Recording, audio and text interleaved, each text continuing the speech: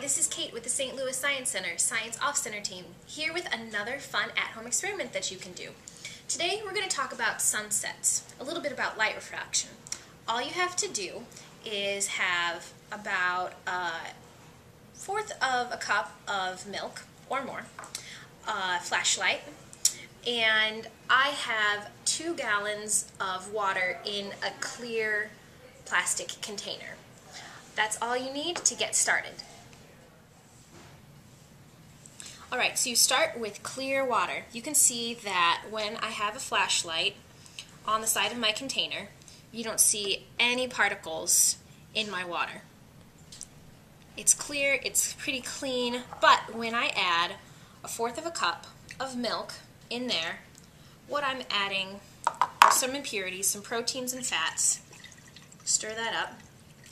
That will cause the light to refract differently. Alright, so I've turned off the lights to give the difference in color a more dramatic effect. Take your flashlight, put it to the side of the container, and you'll notice that it'll create a bluish type of light. This would be like if the sun were at high noon are straight up in the sky. Now take your flashlight and look at the um, beam straight on you'll notice that it's a warmer color, a yellow, an orange, maybe even a red if you put in a lot of milk. Um, this would be a sunset, it looking at an angle. Um, so try this experiment at home, add more milk if you like, try to use a different type of flashlight, an LED flashlight.